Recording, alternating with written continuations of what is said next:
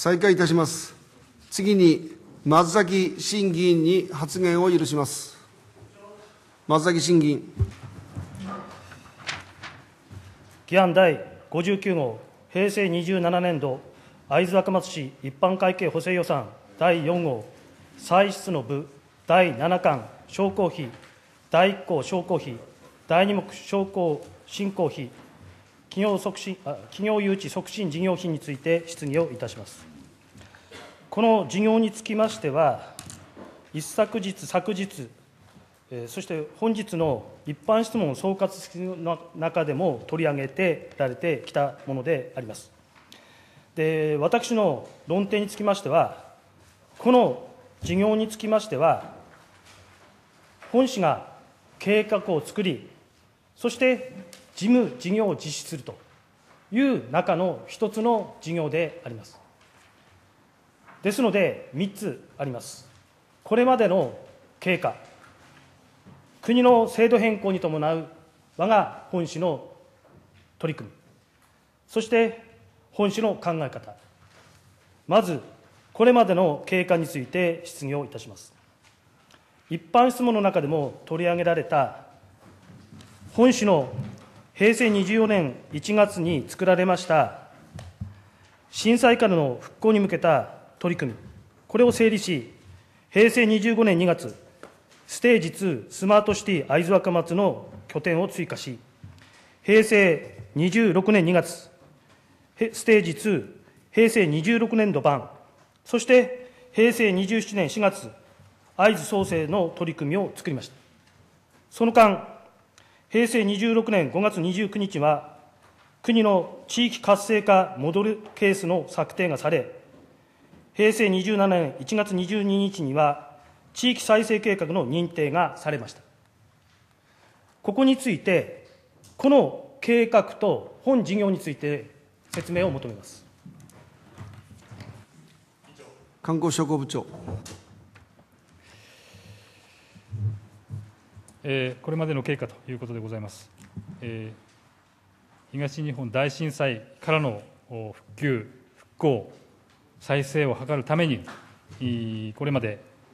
地域再生活力、地域活力再生に向けた取り組みを策定し、スマートシティ会津若松としてのまちづくりの方向性をお示ししてきたところであります。でこうした中、昨年5月に、5月29日、アナリティクス人材の育成えーや ICT 実証事業および関連する企業の集積を図っていく取り組みといたしまして、地域活性化モデルケースを市と会津大学、アクセンチャー株式会社との共同提案をいたしまして、国の採択を受けてきたところでございます。その後、このモデルケースをさらに前進発展させるため、本年1月、地域再生計画として国の認定を受け、その中心事業に ICT オフィス環境整備事業を位置づけてきたところでございます。また、去る7月には、えー町人仕事創生包括連携協議会を設立いたしまして、地方創生に資する事業の実施と効果の検証に向けた体制を構築し、本事業を強力に推進していくこととしたところでございます。松崎審議員。この事業につきましては、ただ単にオフィスを作るというものではなくて、本市の今後、20年、30年先の会津若松市をどのようにしていくのかという計画の中の一つの事業であるというふうに私も認識しています。そこで、平成27年5月26日の産業経済委員会協議会の中で示された ICT 関連企業集積のためのオフィス環境整備事業、これがですね、国の制度変更にあって変わったと。これは2つ目の論点です。ですが、一方、国の責任はどうなんでしょうかということも言いたいわけですよ。つまりですね、この認定を受け、その際、地域再生戦略交付金、これが原資ですよね。そして、それをもって、会津若松市は何をやるのかということを、そして認定を受けたわけです。ところが、一方的に新型交付金というふうに変わったわけです。この認識と本市はどのように今後進めていくのかについて伺いたいというふうに思います。観光商工部長。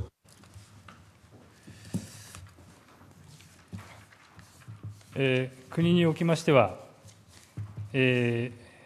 地域再生計画に位置づけられた事業を支援するという目的で、えー本年2月に地域再生戦略交付金制度を創設したところでございますが、えー地方創生の取り組みとしまして、各地方団体で、総合戦略ということが策定されまして、具体的な事業の段階に入るということを受けまして、地方創生を進化させるという目的で、平成28年度からは新型交付金を創設するということが国の中で進められてきたところであります。これに伴いまして、本市が ICT オフィス環境整備事業において活用を予定しておりました地域再生戦略交付金は、この新型交付金の財源として、再編されることになり、また、地方創生にかかる支援の総額につきましても、今年度の地方創生先行型などの額を下回る見込みであることがお知らせされたところでございます。えーし従いまして、市といたしましては、あのこの機会に、いさらえー市としてえー重要な事業である ICT オフィス環境整備事業を推進していくにあたり、えー今回のご提案申し上げましたあ基本計画を策定することによりまして、えー事業の確実性を高めていきたいというふうに考えているところでございます。松崎審議員。今の説明ですと、つまり本市の重要な事業があるんだと、しかし財源を当てにしていた制度が変わったと、でこの制度が変わったのは、地方再生計画の交付金額が限度額、これについては民間の場合は、年度 5, 円5億円を限度とすると。と言いますから、これ、単年度ではないんですね、複数年度もあり得るという形が、今度は平成27年8月4日の地方創生の進化のための新型交付金の創生等についての中で、日本全国 580, 508億円程度の要求、要望に変えると、つまりですね、本市に約束されていた1年間5億円を限度というのはなくなったわけですよね。ここで本市はなぜそれでは今回の委託事業をしたのかということについて伺いたいというふうに思います。観光商工部長。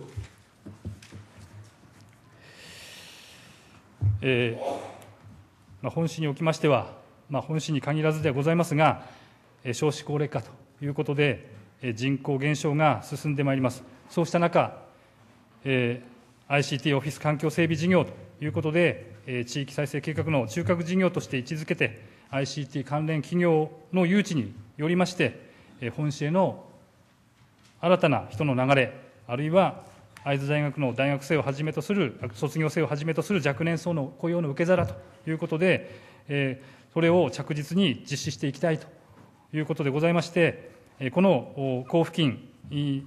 のが、まあどのまあ、変わり方があるわけですけれども、それを踏まえながら、市としては、あの事業自体はしっかり進めていくということで、あのまあ、交付金ありきの考え方ということではなくて、えー交付使える交付金は利利活用しながらも、この事業を推進していくという方針で、えー今回、この提案をさせていただいたということでございます。松崎審議員。えー、と本年ですね、えーいつだっけなえー会津若松市が町、人、仕事創生総合戦略を策定しました。その中で、5つの柱の中の1つの中に、今回の会津大学を中心としたアナリティクス産業、ICT 関連企業集積の中の一つとして、今、今回、ホルダー企業、入居企業等による採用というところがあるわけです。つまりですね、本市が計画をし、全体化をしたい、それについては、本市の10年、20年先を見据えた人口増加、増加はいかないけども、人口減少に歯止めをかけると、それについてはさまざまな手法もあるけれども、一つの手法として事業化すると、そこで、しかし一方で国の交付金制度が変わったと、今の答弁ですと、制度は変わったけども、やりたい、ですから今回の委託料だということについては分かりました。そこで本種の考え方なのですが、ここが重要だと思うんですが、公金事業変わりました。財源これから考えます。この委託料をでやる事業ですね、これから調査研究しますね。今の段階でこの事業を進めるのか進めないのか、どこで判断するんでしょう。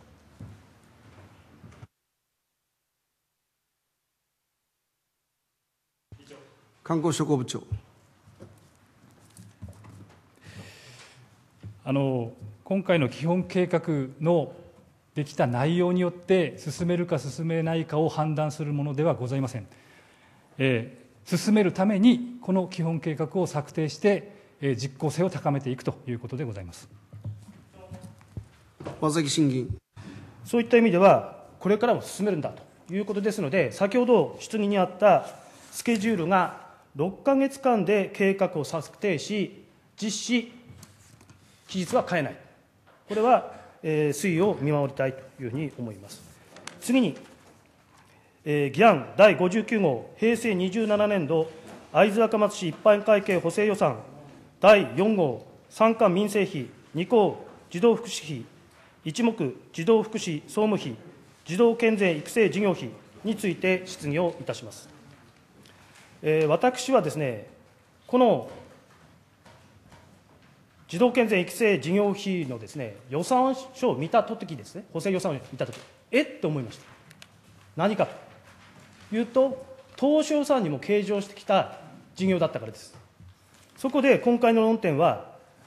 これまでの経過、2つ目は当初予算との関係、そして3つ目は本事業の方向性について伺いたいというふうに思います。まずはじめに、これまでの経過について説明を求めます。健康福祉部長。えー、お答えいたします。えー、本案件は、えー、子どもクラブ24年あ27年4月からあのあの増設したわけですけれども、そのうちの川東学園小学校学区にかかる分の追加予算を計上してはおりますけれども、えー、あのそもそもの発端といいますか、えー、ことは、えー、27年4月から始まった子ども子育て新制度の、えー、改定に伴います、えー、当初予算とのあの議員あの論点あの発表されましたけれどもございますのでちょっとあのお時間をいただきたいと思います。であの27年4月今年4月に向けて25年度中からあの準備を進めてまいりました何をしていたかというとこれまでの制度と変わる点が大きく2つございます。それは、えー、対象年齢が小学校3年生までだったのが6年生になるということと、えー、1つ1つあたりのクラブの、えー、定員これまでは70ガイドラインで70人前後と70人というふうにはなっておりましたがこれは一つ今後は一つの単位を40人とするという国の指針が示されました。従いましてえー、私どもとしては、えー、年齢拡大に伴う対応、まあ、あの3年生まではこれまで利用してきたわけですから、えー、6年生に拡大した時の定員がどの程度の利用定員として、えー、確保場所を確保しなければならないかというのとあとはスペース的な面で場所をどこに確保するのかというのがございます。で、えー8月25年の8月にはですねもうあの教育委員会学校の施設管理のもともとでございます学校教育委員会と関係課長会議等を開かせていただいて一定程度の方向性を話し合った経緯にあります。であのこれは何回か一般質問等でもお答えしているところではございますけれどもできるだけその例えば台風が来たり大雪になったりということを考えますと学校の中に設置するのが一番いいであろう。で余裕教室等がなければ近くに学校の校庭の片隅があの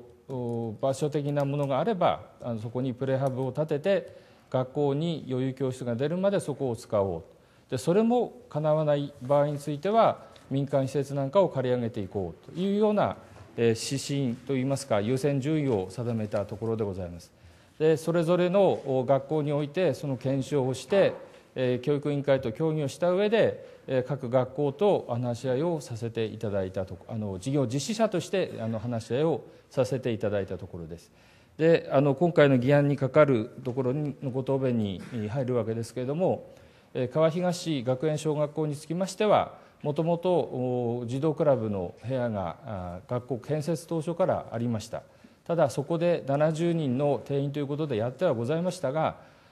これから80人程度になった際に、飲みきれないということでございますので、学校の方に、まあ、余裕教室、まあ、多目的スペースでもあの教室ではなくて多目的スペースでもいいのでそういう場所はありますか？というような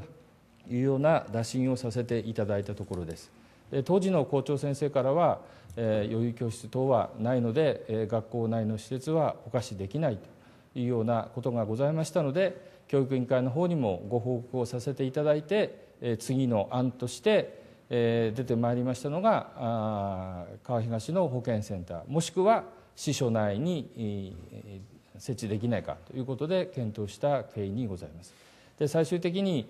昨年の6月頃でございますけれども、えー、あのあの9月昨年の9月の議会に条例を上呈するということで最終的な学校の意思を再度確認しましたところやはり校長先生の方からは無理だ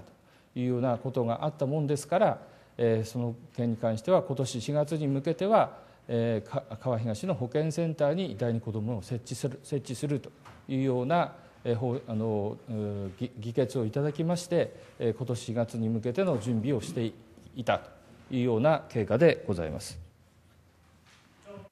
正木審議えー、経過はは分かりましたので、えー、2つ目の論点である当初予算との関係で質疑をいたします。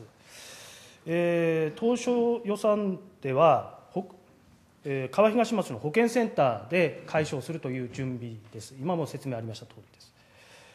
えー、今回ですね、えー、補正予算で、まえー、川東第二子どもクラブが、今度は学園小学校の余裕スペースを作っていただいて入るということになったのですが、この理由ですね、なぜ当初予算ではだめなものが9月の補正で可能になってきたのかということについて伺いたいというふうに思います。建国支部長はい、お答えします。お答えいたします。えっ、と今ほどご答弁申し上げましたように、昨年の9月議会で、えー、川東の保健センターに第二子どもクラブを設置するということで、開設に向けて準備をしてまいりました。で開設に際しましては、子どもたちがああの土足といいますかあの裸足でといいますかあのトをこう床の板板張りではなくて板張りとかフローリングではなくてマットをするための費用それから、えー、夏の暑さ対策のためのエアコンををつける費用というこ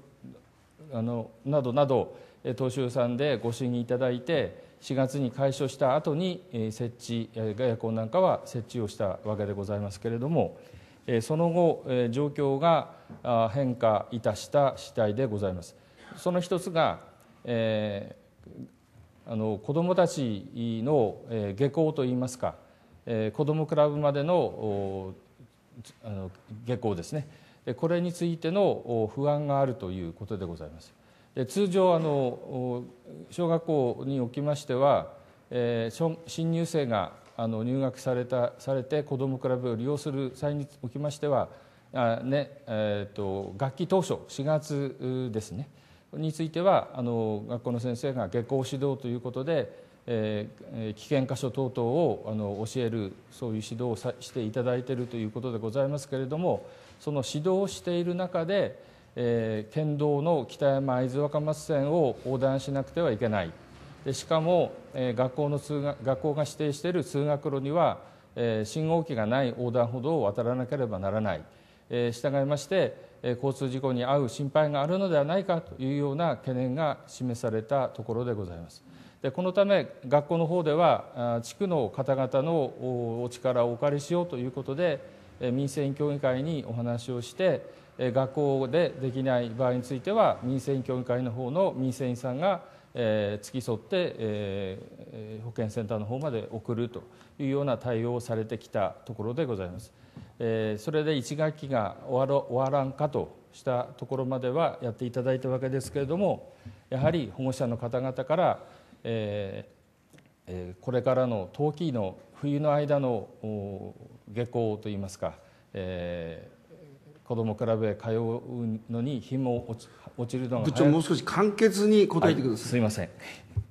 失礼しました。ということで、えー下校時に子どもたちの安全に不安があるということで、えー学校の方で、えーそれであれば、えー校内のランチルームをお貸ししてもいいので、えーどうですかというお話がいただいて、えーさらに教育委員会とも協議した上で、えー子どもたちの安全ということを踏まえまして、えー移設するというようなあの決定にさせていただいたところでございまして、えー移設にあのつきましては、仕切りとか、えー冷房のスイッチですとか、あるいは先ほど申しましたカーペットのカーペットを敷くというようなことが必要となるということから、えー追加の予算について、今回の補正予算をお願いした経緯にございます。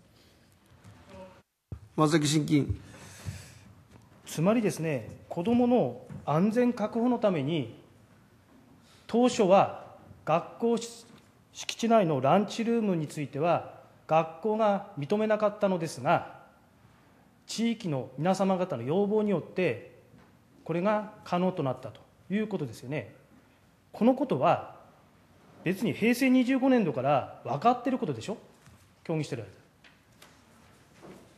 間。なぜそれが当初からできなかったのか、子どもたちにとってはいいですよ。関係部、所管課、どのように協議調整しているのか、概要を示してください。健康福祉部長。はい、お答えいたします。えっと、25年から、えー昨年のお条例のて提案までの流れの中で、えー他の子どもクラブもそうなんですけれども、学校の指定のあの通学路を利用すると、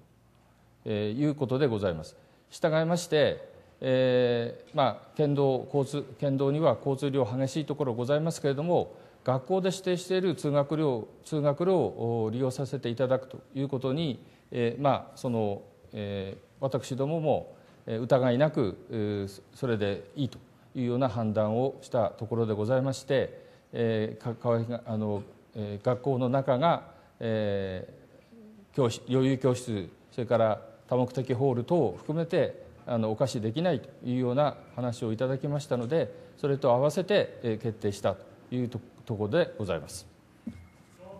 松崎審議員。もっともっと準備すべきではないのかなというふうに思います。で、最後の論点になりますが、この河合東第二子どもクラブのこの事例をですね、今後の本事業にどのように生かしていくのかということをしないと、まあ、二重投資とまでは言いませんが、子どもにととって本当にいいのはどういうことですかということです。で、課題があるのは、今、子どもクラブは学区17学区あるうちに、学校内施設外に通っている子どもさんは多いんです。ゼロではないんです。1、2、3、4、5、6、7、8、9箇所ぐらいあるんですよ。17箇所のうち。この問題も一緒なんですよ。となるのは、重要なのは、健康福祉部とその関係する教育委員会、並びに他の課ですよ、ブーカード、皆さんと、どのように協議協議調整するのかということなんです。そこで、資料を作っていただいたところですね、私の見る見る限り、どうもですね、健康福祉部と教育委員会の連絡調整よりも、健康福祉部の担当所管課と学校の学校長との話し合いが多いんです。今までの本市の事業というのは、関係所管部ごとと課ごとでやるでしょ？ところが、学校の校長先生との協議が多いんです。つまりですね、学校施設は権限は校長さんにある、校学校長にあるの分かりますよ。だけども、子どもたちの安全安心、余裕スペースの含めたところで、それは隔たりあるかもしれませんが、今回の川東学園小学校のように、当初はダメだったけども、9月に良くなるっていうケースもありますよね。そこはもう少し所管、部、課の中で、当然ながら教育委員会も学校の校長選と入りながら、調整していかないと、こういう問題起こるんではないですか、いかがなんですか？全国支部長。えお答えいたします。あの事業実施課として、えー当然あの、教育委員会と連絡調整を図っていくというのはもちろんですし、これまでもやらせていただいておりました。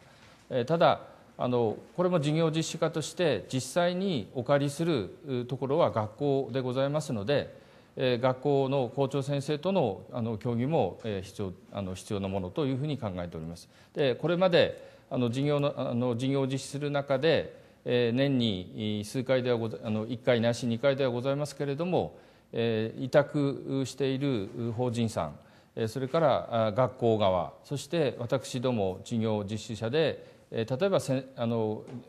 利用いただいている子どもさんの状況ですとか、えー次年度の状況ですとかという話し合う機会を持っておりました。でその内容については教育委員会の方にご報告をさせていただいております。でこういうことからもあの教育委員会とは連携をしておりますし今後も連携をしてまいりたいというふうに考えてございます。でそれからあのこのようなこととあの議員おっしゃいましたけれども、えーあるのかということでございますけれども、えー議員ご指摘いただきましたように、えー学校によっては養育教室がないために、え近隣のちょっと離れたところに設置しているということもございます。え先ほどあの一番最初のえ答弁で申し上げましたように、できれば学校の中に設置したいというのは私どもの考えでございますので、え年に数回行っている学校との協議、あるいは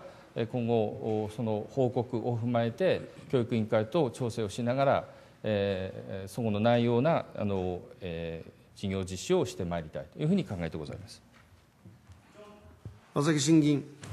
え次に承認第3号平成26年度会津若松市一般会計歳入歳出決算の認定について11巻災害復旧費1項雪害対策費一目雪害対策費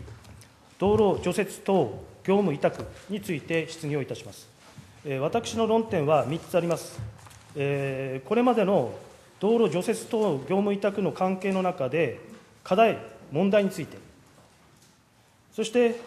市民要望にどのように対応してきたのかということと、3つ目が、道路除雪等業務委託業者との連携をどのように図ってきたのかということでございます。まず、これまでの課題、問題については、議会も市民との意見交換会の中で多く出されてます。で一方、一般質問等、さらには建設委員会のや分科会の質疑の中で、いわゆる業界の人員不足の中、さらには機械の更新などの問題がある中で、どのようにこの除雪道路、道路の除雪を、えー業務委託で行ってきたのかということでございますが、えーそれについて伺いたいというふうに思います。建設部長。お答えをいたします。えー今ほどの人員不足、機械の更新なども課題がある中でということでございますが、まあ、道路除雪等の業務委託の自宅者が所有する、まあ、除雪車につきましては、まあ、冬期間しか使用できないという特殊な機械であると、上に更新が高額になるということから、同じ機械を長く使い続けることが多くて、老朽化が進んでいるという現状にもあります。また除雪車除雪車の老朽化は、えー道路除雪を主にしておりますことから、まあ、建設業界が厳しい経済状態にあったときに、維持費がかかる除雪車を含む重機を手放しですね、リースに切り替えたというようなこともありまして、大型大型除雪車の減少とか、老朽化に拍車をかけてきたというふうな状況になるかというふうに思っております。まあ、このような状況の中で、除雪車の確保対策といたしまして、えー住宅業者におけおいて、維持費のかかる大型除雪車が減少していることから、あまあ、市が保有している、えー除雪車をです、ね、対応する取り組みとか、また小型除雪車を増あ増車してですね、大小の除雪車を組み合わせて、除雪の産業を効率化効率化を図ってきたということで、除雪全体の体制の強化を努めてきたというところでございます。また、今おっしゃいましたように、住宅業者のオペレーターにつきましても、高齢化が進んでおりまして新たな人材の発掘が必要となっているというふうに認識しておりますそこで、まあ、除雪オペレーターの確保対策といたしましては、まあ、市政代理とかホームページなどを活用した募集を行うとともにですね公共職業安定所への紹介さらには建設業界へのオペレーターの育成の要請などさまざまな手法によりましてオペレーターの確保に努めてきたというところでございます。以上でございます。松崎審議員。えーそうしたあの課題、問題の解決のために、受託業者からさまざまな意見要望が寄せられたと思うんですが、えーどのように解決に向けて協議してきたのか、ありましたら、教えていただきたいというふうに思います。建設部長えー受託業者からの、まあ、意見要望ということで、えーどのようなものが上がってきたかということでございますが、やはりあの受託業者の中でも、やはり重機の関係でいきますと、やはり自分のところは小さいところで大きな時期も持ってない、またまたはオペレーターがいるけども、機会がないというようなこと、まあ、そういった状況、さらには、まあ、オペレーターの確保という意味で、あのどうしてもそういったものが確保できないという状況もあって、業界からまあ撤退せざる、除雪をする上で撤退せざるを得ないというような、そういったまあ現状のそれぞれの問題点が寄せられてきているところでございます。以上です。松崎審議員えー大変あの課題問題を抱えているというのは、私も認識しているところですが、一方ですね、市民の要望はさまざま大きく、そして期待感を持って除雪について要望がございます。えーそういった意味で、えー人員不足、オペレーター不足、そして重機が少ない中で、えー除雪、道路除雪委託業者の方々と市民要望、そして維持課、道路維持課が、やはり協議調整をしていかないと、市民要望に応えられないんじゃないかなというふうに思います。特に我が私の住む道路は除雪来ないよとなると、すぐに電話をします。さらに、道路パトロールは夜中やります。パトロール以降、雪が降ってしまいますと、通勤・通学の時間に除雪が回らないとなると、回線がパンク状態の苦情電話が来るということになってしまうというのが今までの例です。そういった意味で、どのように市民要望にお答え答えてきたのかについて、答弁を願います。建設部長お答えいたします、えー市民要望にどのように応えてきたのかということでございます、まあ、除雪に対する市民要望は今おっしゃいましたように、まあ、毎年さまざまな要望が、まあ、こちらの方に寄せられてきていると。でその多くを占めますがやはり早朝の除雪や除雪のやり方について、えー多くを占めているところでございます。でこうした要望に対応するために、えー市といいまえー市といたしましては、町内会に対して、まずシーズン、あの除雪のシーズン前にですね、町内会ごとの除雪路線図の配布や、担当する、まあ、受託業者をお知らせするとともに、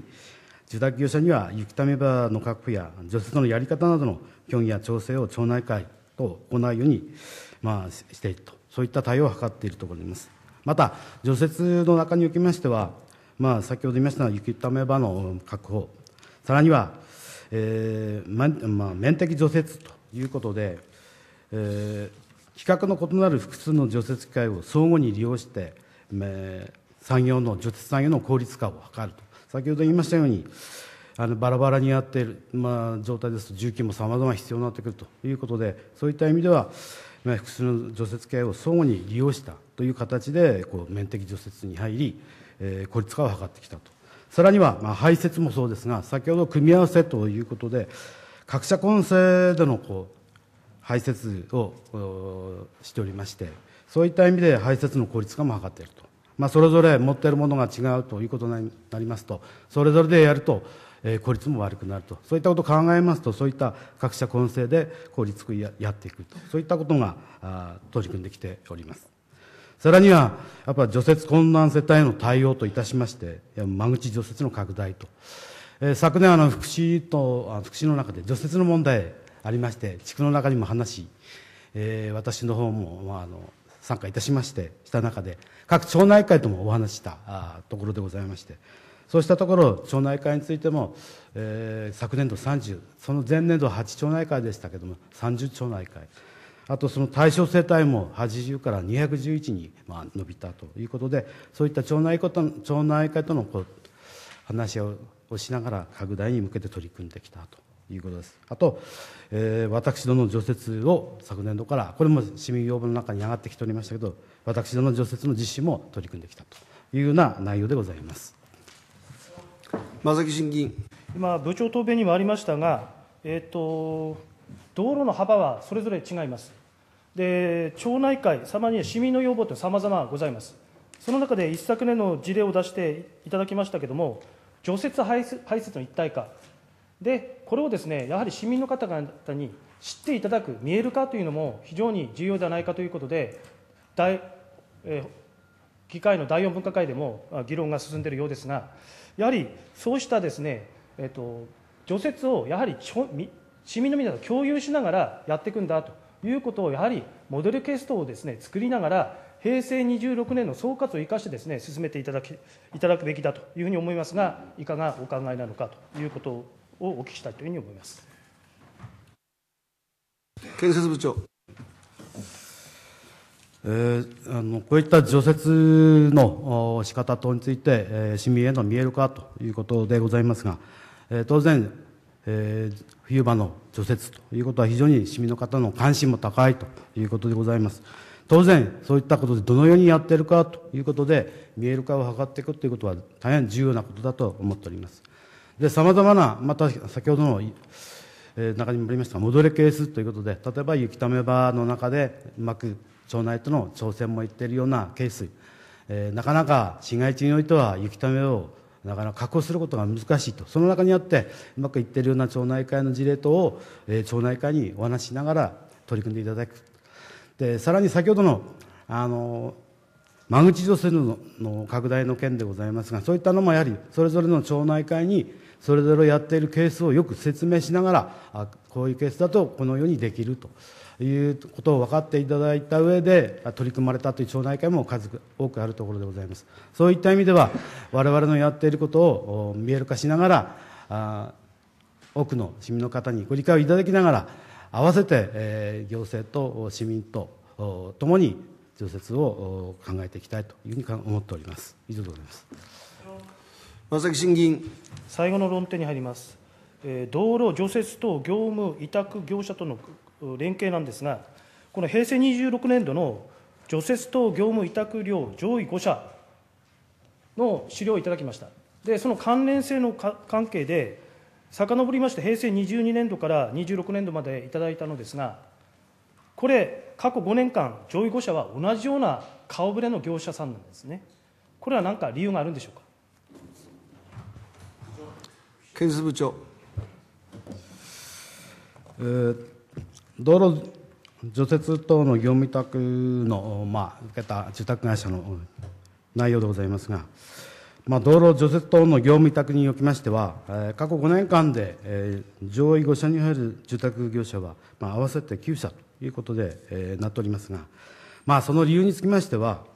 あいずれの住宅業者も自社で保有する、まあ、除雪機械や除雪オペレーターを多く確保しているということでございます。で、それに伴って当然複数の除雪機械により、歩車道の除雪とか、あ降雪、雪捨て場、凍結抑制剤の散布等を、まあ、担当する量が多くなってくるということで、まあ、上位にランクされているというものでございます。以上でございます。松崎審議員。えーまだ精査は進んでないので、何とも言えないのですが、どうもですね、本市の機械を保有、本市の機械をですね、委託業者に貸し出しながらも、単価が非常に高い。さらにはですね、えーこの業者が必ず入っているという業者もありますので、やはりこれはですね、まあ、さまざまな委託はありますけれども、これからも精査しなければならないというふうに思います。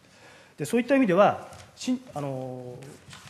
所管課におきましても、やはりですね、えー業者さんに対しては、さまざまなご意見あると思いますが、えー分散する形での委託について考えを伺って終わります。